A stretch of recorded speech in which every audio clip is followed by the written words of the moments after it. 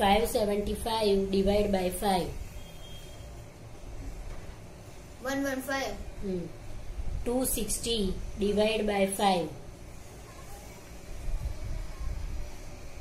52. Hmm.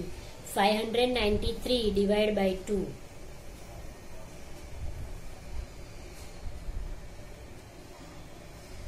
Two ninety six. Remainder. Two ninety six remainder Hmm. one. Next. 231 multiply by 9.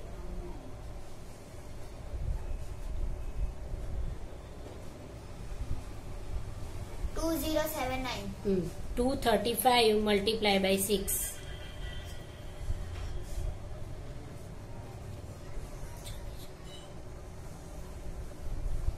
One four one zero. 201 multiply by 9. One eight zero nine.